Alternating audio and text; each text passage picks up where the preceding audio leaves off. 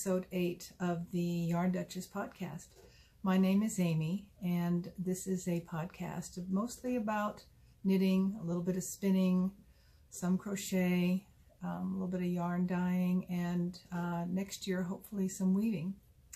It has been two months since my last podcast. It is about three days before Thanksgiving here in the States. And if you've been following me on uh, Instagram, you'll know that I am alive and knitting. Um, had a little bit of a, a change in my plans um, earlier this fall. Um, I really did plan on having a, a vodcast out a week or so after my last one, but I had a, a trip, unexpected trip that was thrown in there that kind of changed uh, everything up. Um, so I have a lot to share with you this time. I have a lot of spinning and um, uh, my Christmas knitting. Get, got a lot done on my Christmas knitting. And so I thought I would share, uh, start the, the podcast with uh, the couple of finished objects that I have and then I would go into uh, spinning, and then uh, at the end of the uh, podcast, I would share my works in progress and talk a little bit about the upcoming giveaway that I am planning for you. So here we go. So my first um, finished object is my harmonized shawl. The last time I shared it with you, I had just finished it, but I hadn't uh, woven in the ends or blocked it and uh, it came out very nicely so I'm really pleased with that and the other um, finished object that I have is uh, a pair of socks. Um, these are knitted for a friend of mine. This was my knitworthy friend that I mentioned in my last uh, podcast or vodcast sorry. And uh, she uh, chose um, my magpie um, colorway. And I used the Regia uh, sock yarn that I had picked up during uh, the yarn crawl for the heels and the toes and the cuffs um, just to give it a little bit of um, durability. This is a nice, I think it's a four ply sock yarn. So anyway, this is my usual uh, my sock, vanilla sock uh, with the uh, toe up, um, three by one rib, and the German short row heel and then I did the uh, sewn bind off on the on the uh, cuff. And I really like this sewn bind off. It is a nice stretchy um, bind off and so it doesn't uh, cut off the circulation in the leg. And let me see here. The um, other thing I wanted to talk about uh, was my spinning. We had um, Spinzilla happened during the first week of October. And if you are not familiar with Spinzilla, it's an international spinning competition. It's a friendly competition uh, comprised of spinning teams, usually headed by um, a yarn shop or a um, yarn manufacturer. And you spin for eight days to see how much yardage that you can get um, for the entire team. And, and uh, it's pretty grueling. Uh, you have to set aside some time for that if you really are competitive like I am. And um, I think I spun a little over two miles this year. And I thought I'd share some of my, my spins with you. So the first one that I'm going to share is a um, two-ply. And the uh, it's a two-ply between a green and yellow merino silk uh, ombre that was dyed by Violet Violet Lynx Dye Works, and the colorway uh, was Dandelion Glade. And then I applied that with a Polwarth Polwarth silk by Enchanted Forest. So I never spun Polwarth before, so I was really uh, curious to see how it spun. And both the uh, the merino silk and the Polwarth silk came out beautifully. Really uh, nice drapey uh, yarn is what I got from that. And uh, there it is up close. And that's, I think it's a, I think it's a, a heavy, it came out to be a heavy fingering weight. And I got, um, I didn't put down the yardage, but I got two, uh, two skeins of yarn. I think this one here is, oh, here it is. This one is 256 yards. And then this one is, this one is 258 yards. So I got a pretty even, I was able to divide it up pretty evenly. So really happy with, with this spin. I don't usually spin bright greens and yellows, but that one, that one, uh, I really like that. And then another one that I did, which I really liked and was kind of unexpected, was um, I applied a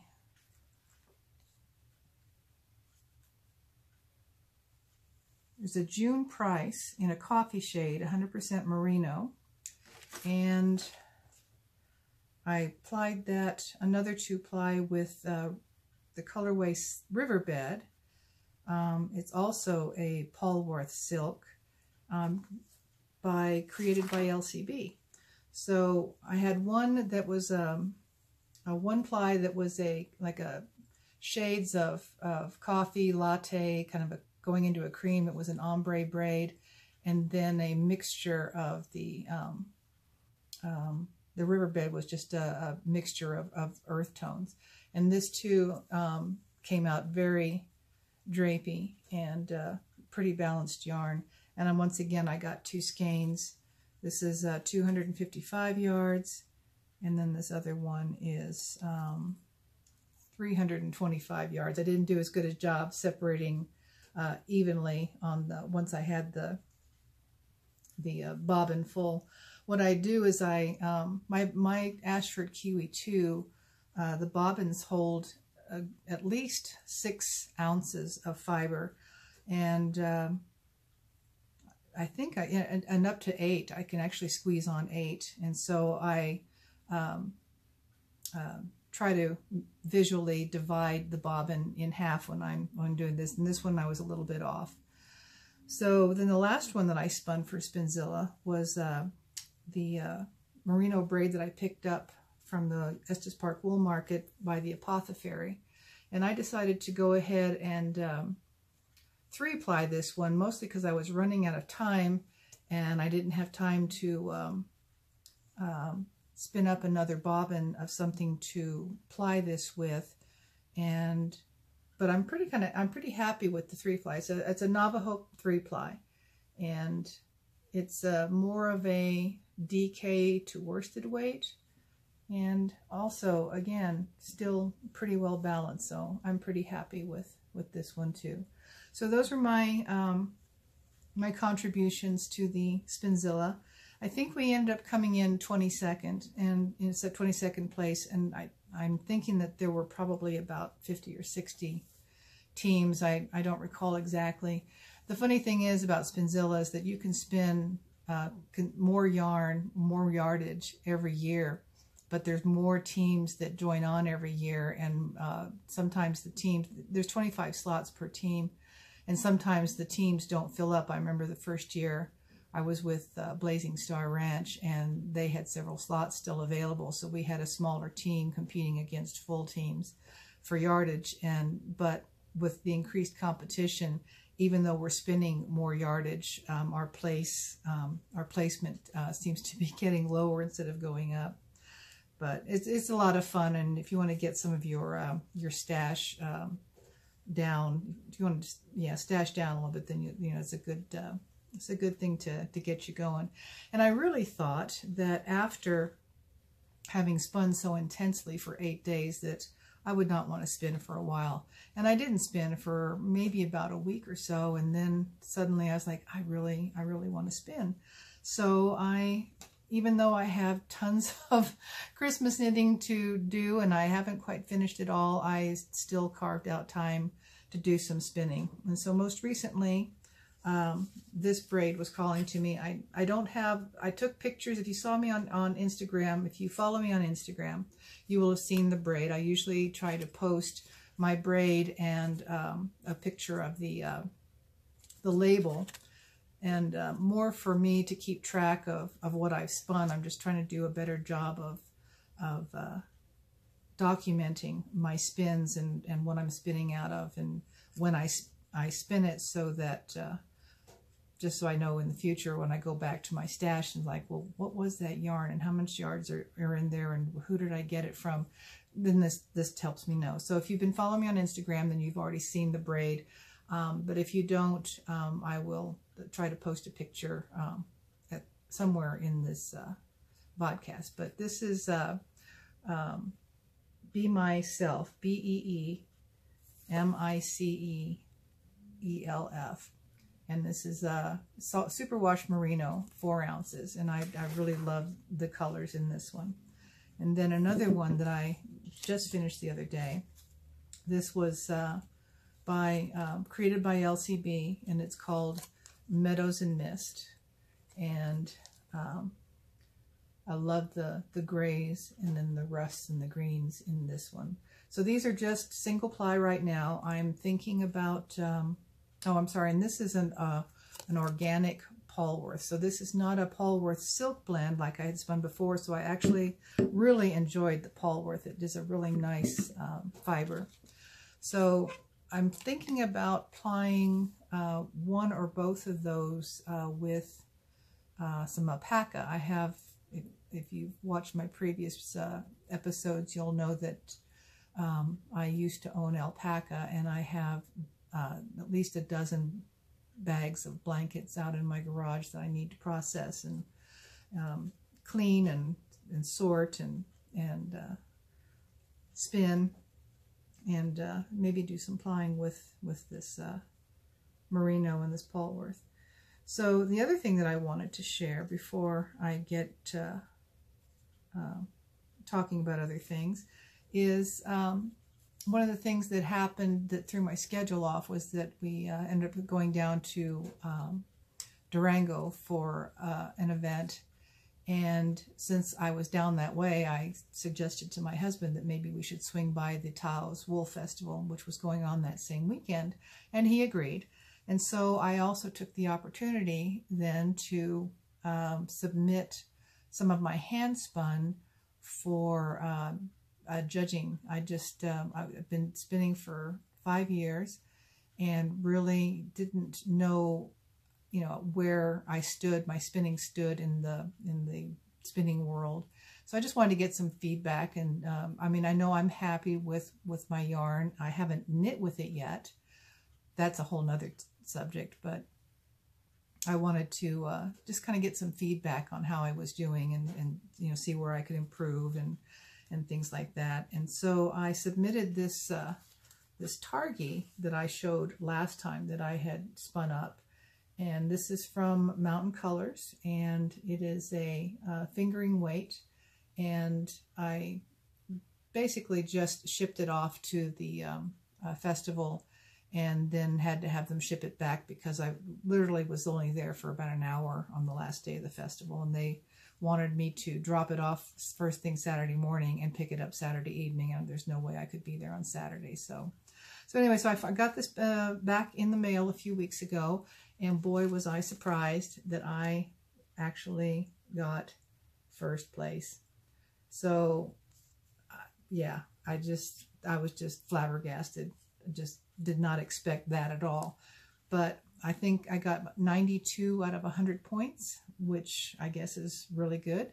And um, I got some really good feedback um, from the judges. So um, yeah, so that's my that's my um, big surprise and joy for for the year. This was a really nice thing to um, to get. I said totally, totally unexpected.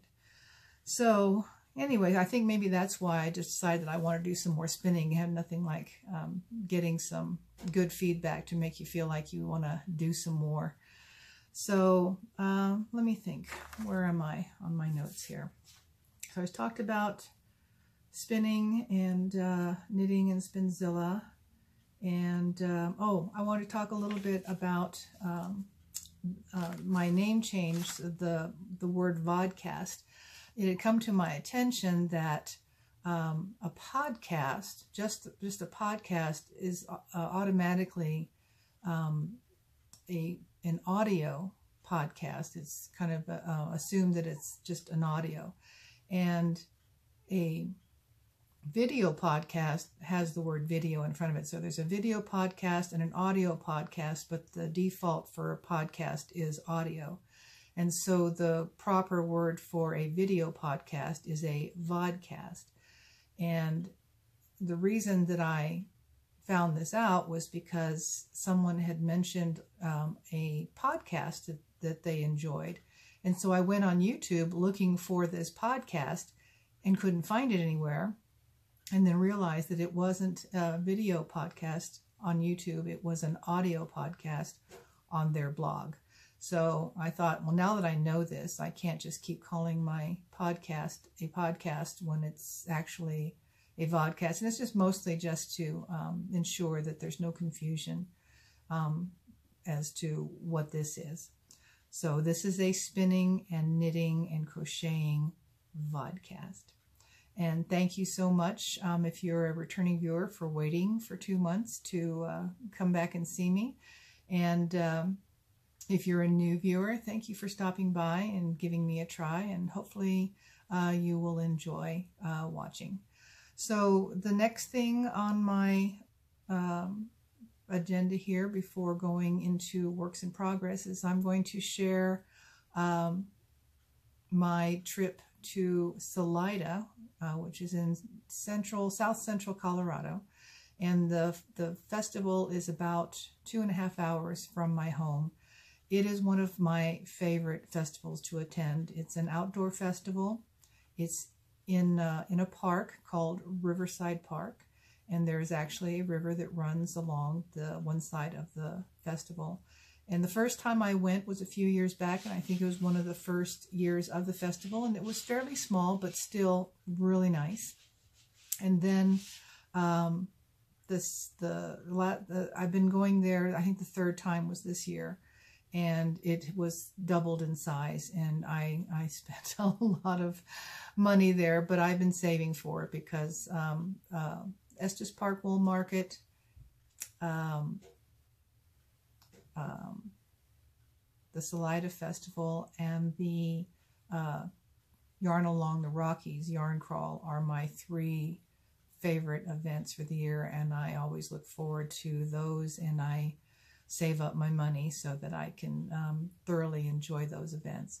Oh, and I almost forgot one of the um, one of the my favorite dyers um, lives here in Colorado Springs. Um, it's uh, Peggy Doney of the 100th, 100th Sheep. And I first discovered Peggy uh, at the Salida Fiber Festival a few years back. And I follow her on Instagram. And when she posted um, some of the work that she was doing in preparation for the festival, um, I quickly responded saying, please save me four of those braids because they were gorgeous. And so she, she did. And so I'm going to share those with you really quickly before we go to the video. So one second here.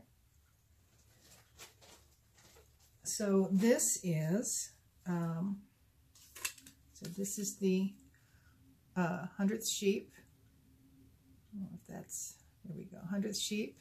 And the colorway is the violet-headed hummingbird.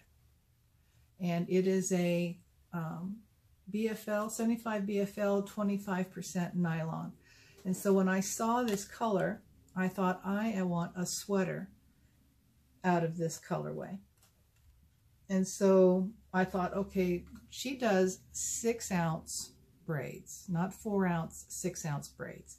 And so I figured that four of these braids would be enough. But uh, if you could just feel feel these braids. They're so soft and squishy. So anyway, um, yeah, so I've been practicing my spinning. I have not decided whether I'm going to be spinning for a finger, finger weight sweater or a DK weight sweater. But until I figure that out, um, I may start spinning on these um, maybe after Christmas. Um, but yeah, so I have I have four of these. And she also had a colorway that she had uh, dyed up, in, especially for the Salida Fiber Festival. Um, but after buying those four braids, I, I felt kind of guilty about buying more fiber because I had also bought a ton of yarn. So I thought, well, maybe if I go to Taos, then I would um, uh, pick up another braid or two well, when if I went there. Um, but also, since she lives 15 minutes from my home, I could always stop by and say, hey, you've got some fiber I can buy. I haven't done that yet. But anyway, this one um, is called, what is this one called? This one is called Alpine Meadow. And after having spun that Targhee um, earlier, I thought, well, I'll pick up some more Targhee. So this is the Alpine Meadow colorway that she has. So anyway, this was beautiful pinks and, and, and greens. And I'm going to need to figure out um, what I'm going to make with this. So whether or not I need to even get some more, I might have to get some more fiber or if I'm going to ply it with uh, some alpaca. But anyway, so that's what I have from uh, the 100th shape. And yeah, I think that's it for now. So let me check my notes. Yep.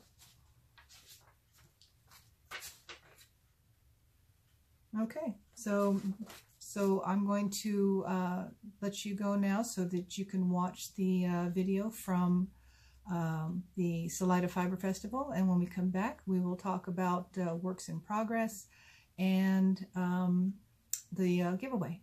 So I'll see you in a few minutes.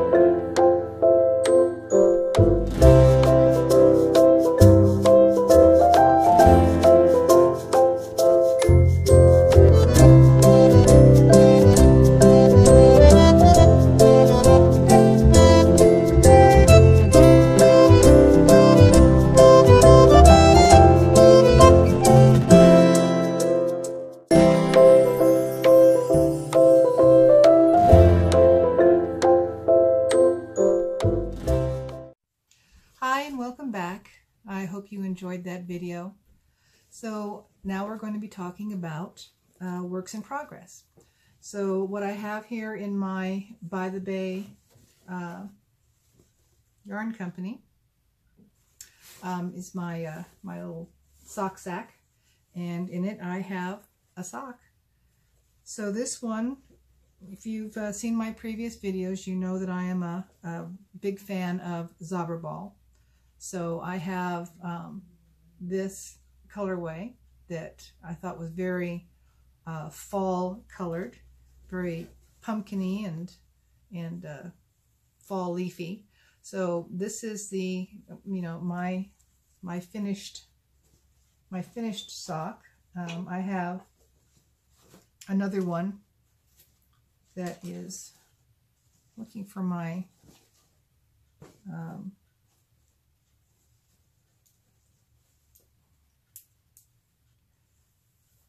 I guess I don't have my other one. It must be somewhere else. But anyway, sorry. Just give me a second here. I'm going to get this. I think you can see it a little bit better if I put it on a, a sock uh, form here so that because of the ribbing, it really uh, scrunches up and looks like a little bit of nothing. Anyway, so, okay, so here is my um, Zauberball sock. And once again, I used the uh, Regia to do the heels and toes, three by one rib. And this time I, I did not use the uh, Regia on the cuffs, um, but a two by two um, rib on the uh, cuff. So anyway, so that's sock one. And that is finished. And sock two I have not even cast on yet but uh, that will go on this week. This is not, I, I haven't decided if this is one of my uh, Christmas gifts. I just wanted to cast on that yarn because it was so pretty. So um, another sock that I have in my other By the Bay um, Yarn Company bag is my first two at a time toe up socks. And I tell you what, this has been kind of a, well, it's been a learning experience. I'm always about learning experiences.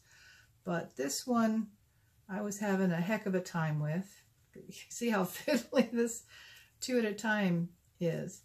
But this is with um, the um, Apothefaery's uh, double knitted sock blank and I just really love the turquoise and gray and then there's little speckles of uh, purple and um, rust in there too. But it just makes this gorgeous um, pattern on the sock. And uh, being two at a time double knit um, the socks are supposed to come out identical. And I think they're pretty close. I'm not really seeing exact patterning but it is close. And once again I'm using the, the gray regia on the heels and the toes. Haven't decided yet whether or not I'm going to use them on the cuffs. But so about the learning experience with the two at a time.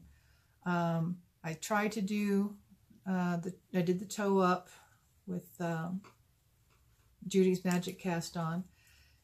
And I got about maybe three or four rows in and said, no, I can't do this. I was doing the uh, two circular needle um, method. And so I split the socks between the two circular needles and just finished up the toe. And then um, I ordered a 40 inch um, ChiaoGoo circular sock uh, needle and then I put both socks on and um, I'm trying to decide. I, I think I had taken them off again and done each the heel separately as well. And then put it back on again for the the uh, cuff. It just, um, I don't know if two at a time is for me. Um, I don't have a problem knitting the second sock after I knit the first one. So, um, I don't know. Um, maybe I'll, I'll try it again. I mean, practice makes perfect. It's uh, learning something for the first time is always a little more difficult than, you know, after you've done a, a have a couple of them under your belt. But anyway, this is the, um, I said, Apothefaery um, sock yarn or sock, um, sock blank and my first two at a time socks. So that is, um, I think, I think I'm going to have to keep these two. I'm not so sure I want to give those away. But I think there's enough yarn on there for me to make a second pair of socks because both my daughter and I wear size eight, eights and a halves, and depending on how long the cuff is, um, I could probably squeeze two socks out. And then my third sock, because I did mention that I always have at least three socks. Um, I said three pair, but what I meant was three socks, which would eventually be three pair because each sock would be a different sock yarn. So on my other By the Bay Yarn Company uh, sock bag, I started um, my first pair of um, Regia socks. I, I went ahead and bought um, this uh, Regia yarn and um, and I think I'm going to make these for my son. But the question that came up for me, and I've asked some people about it, don't have an answer yet. I've checked Google, of course, because Google has all the answers, right? Um, but I've noticed that on yarns like this, mostly uh, European yarns, that it says that it's um, 100% or 80% virgin wool. Now I know that virgin wool is the first shearing of a sheep, but it doesn't tell me what breed the sheep is. And so if anybody knows, I mean, I'd appreciate uh, you letting me know. Maybe, I don't know if there's like a, um, a generic wool breed uh, in Europe that is known for um, only being able to be sheared the first time and having good wool, and after that it's it's not that great. Um, I don't know. But anyway, just, just a thought I'm just putting out there. Um, just a question. Let's see if anybody has an answer to that or if anybody's even thought about it. So, okay, so that are all my uh, sock WIPs. So now on to sweaters. Um, so the first sweater that I'm going to share is in my Luna Stitch um, bag. And this one is the um, Ravello sweater that I was uh, knitting for my daughter. This is this is a Christmas present.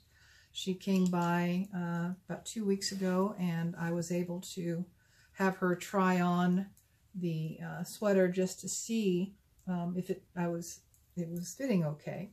So yeah, the length is is fine, and this it looks like that uh, overall it's going to fit her.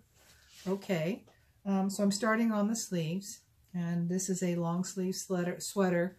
Originally, she thought that she might want to have a turtleneck or a cowl neck um, um, neck, but she decided that the um, the, the, the uh, one of the two patterns that comes for the neck finish on this sweater would be fine.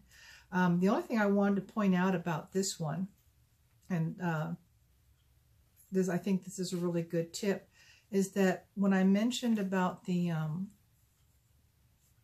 the sewn bind off on the sock cuff being uh, very stretchy, um, I had done a traditional bind off on the sweater edge and you can see it's it's not as stretchy it doesn't have a lot of give and one of the things that my daughter had mentioned when she tried on the sweater was that it felt real tight around the, the bottom edge. It was So I'm going to have to take out the um, um, bind off on this one and I'm going to do a sewn bind off instead and I, I think that will fix that problem.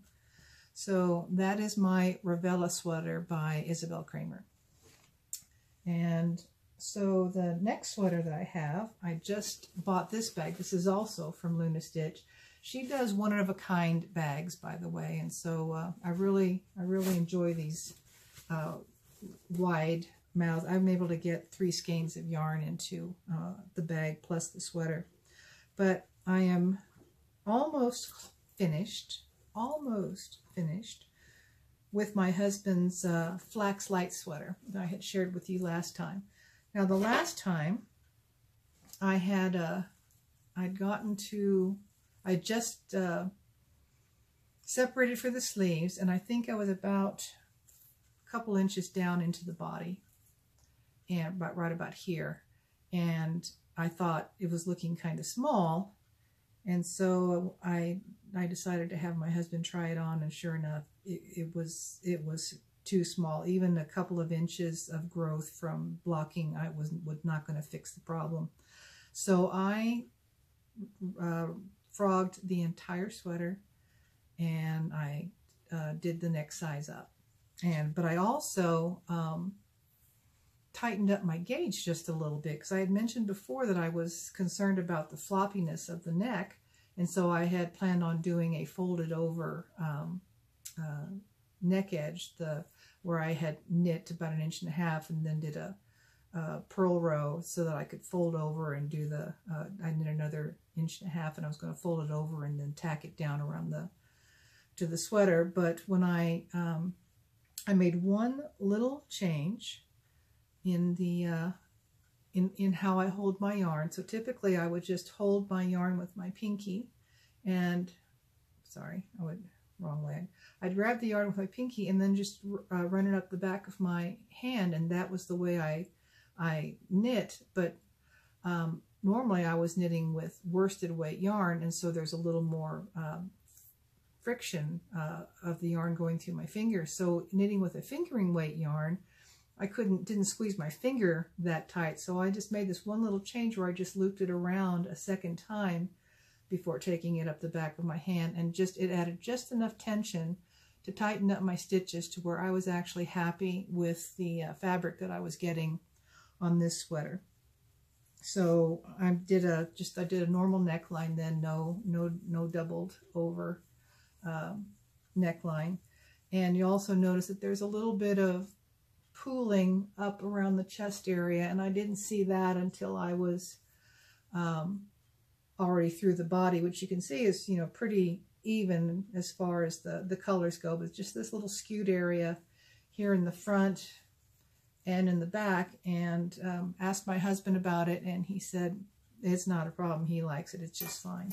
So I have one uh, arm completed and I have the other arm about halfway done. Um, I ran out of yarn, so I need to um, uh, cake up another uh, skein, hank, whoops, and I should be done um, by the end of this week, if not sooner. Um, the only other thing I want to mention about this sweater is that I, after having uh, gotten the feedback from my daughter about the bind off on her sweater, I did the sewn bind off on this one and look at the look at the stretch on that. So definitely a sewn bind off for um, us, the ribbing on a sweater is, uh, I think, perfect to have a, not have that. Uh, but I tried, I tried uh, casting off loosely and it, I just didn't do it loose enough. And it's just easier to do the sewn bind off than it is to try to um, remember to pull a little extra yarn in my loops every time I, I do a, a regular bind off. And then the last thing that I have is my, um, well, I was working on Christmas presents and the cold weather hit and suddenly I realized that uh, um, I didn't have anything to wear other than a hat or a scarf. And I thought, I, I want to make myself a sweater.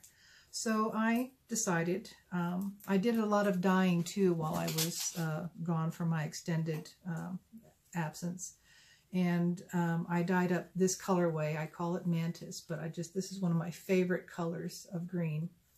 And so I, if you might recognize this, this is, the right way, this is the uh, Beekeeper cardigan.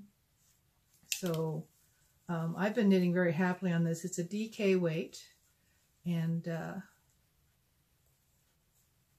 and so I've just, I've separated for the sleeves and it's uh, going going very quickly. So I'm really happy with um, this pattern so far.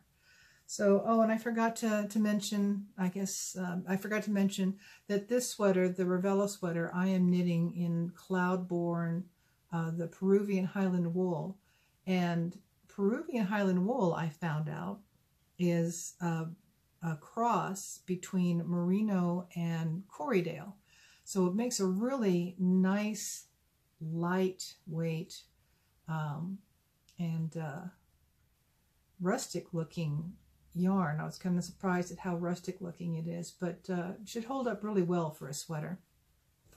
And then um, this one is a uh, superwash merino that um, I hand dyed um, specifically in the um, Chargers uh, LA Chargers colorway. My husband has been a Charger fan since he was nine years old, so um, I did a lot of uh, hit and miss trying to get this uh, color, and uh, he's real happy with it, so I'm I'm happy.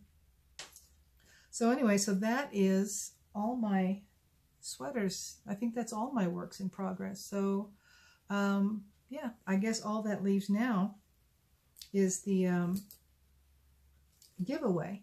So I was thinking um, for if you're a YouTube subscriber or um, if you're watching this show and you want to participate, um, I said Thanksgiving is only a few days away here in the States.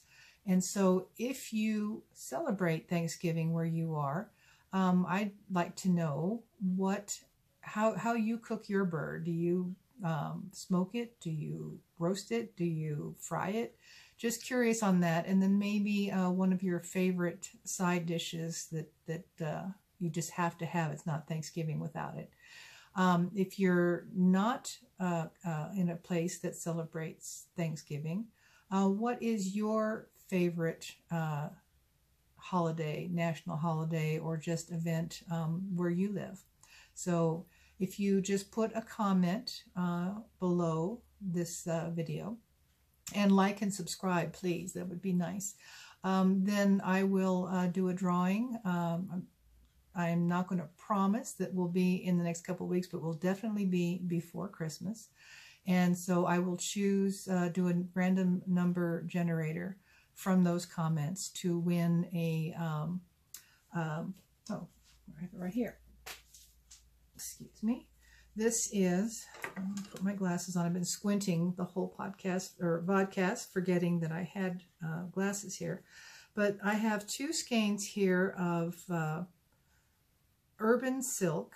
It's called Showers of Flowers by Urban Silk. Let's see if you can see the label there and it is a um, 93 yards of 80% silk and 20% cotton. So it's uh, 50 grams, two 50 gram skeins of uh, this urban silk. And uh, so yeah, so random number generator, uh, I will choose uh, a winner for these two hanks of, of uh, urban silk.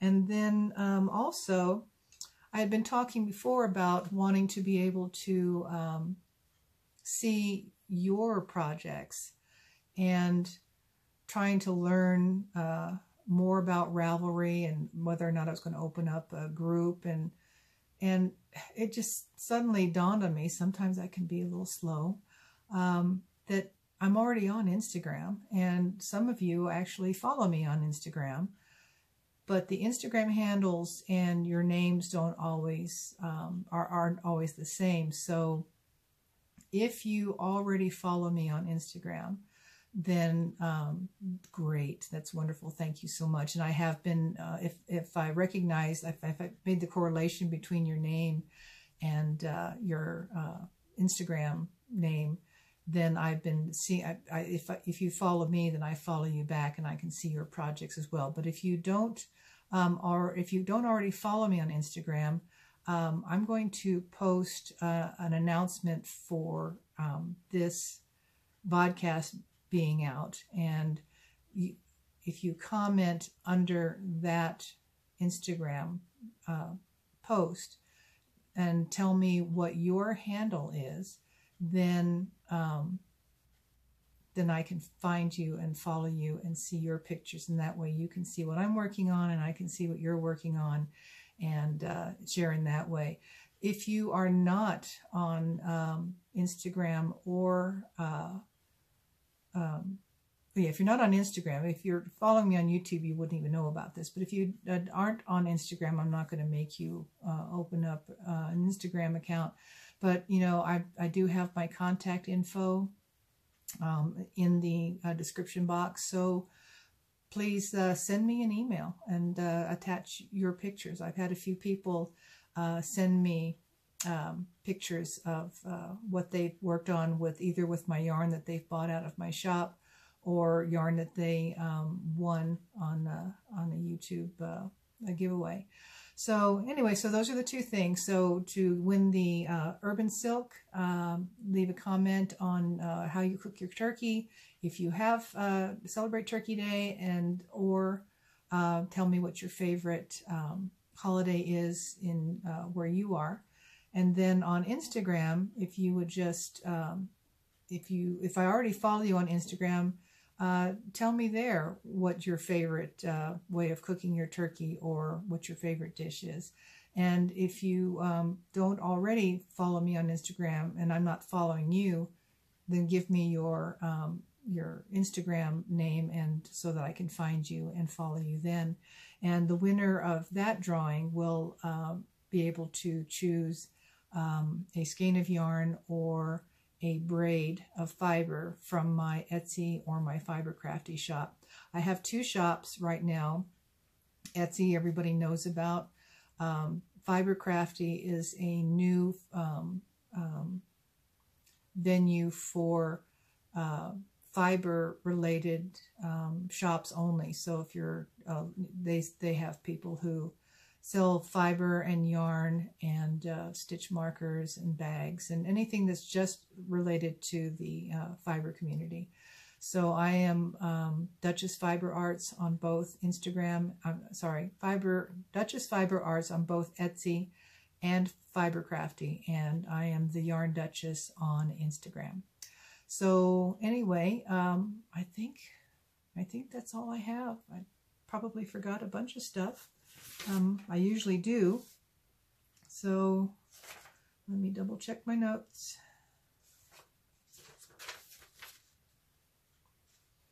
Made pie, WIPs. Nope, that's it. So um, until next time, like I said before Christmas, and um, have a wonderful Thanksgiving if you celebrate it. And um, if not, I will see you in a few weeks. So stay warm and take care.